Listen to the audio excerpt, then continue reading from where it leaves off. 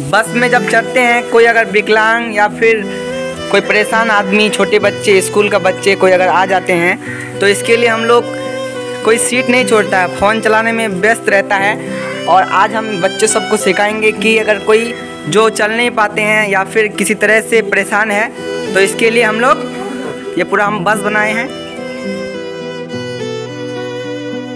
राहों पे तू चल, रब्बा रहेगा तेरे संग।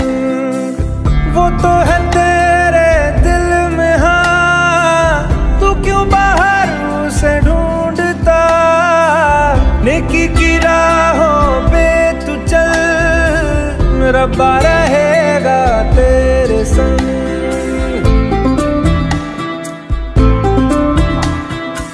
Let's give Rehan the best goodbye gift. कभी है वो